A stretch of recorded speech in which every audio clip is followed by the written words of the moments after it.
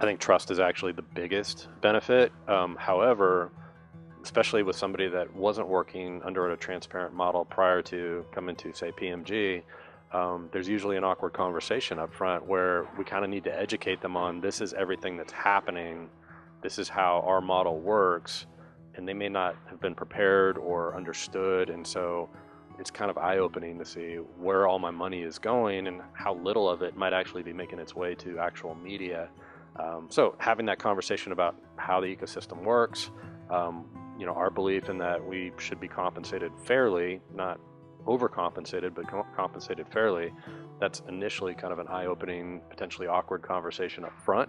But then the trust begins to show up once they have the insights, once they see the same things that we see, which they candidly haven't seen before.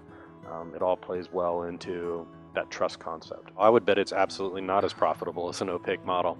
Um, and that's a big reason why, you know, entities are going to try and keep things opaque. Um, but the nice thing about us starting with a transparent model is we didn't get ourselves in a hole of, you know, being, uh, having kind of a profit that's not sustainable, right? So we can start out of the gate conservatively, make it a profitable line of business, but not overextend ourselves, not overhire against it, all those things.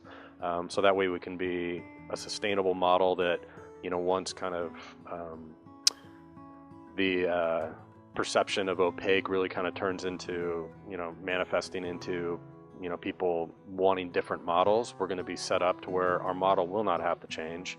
Uh, we're going to be able to approach it the same way we would in any other situation and Uh, ultimately to the client's benefit.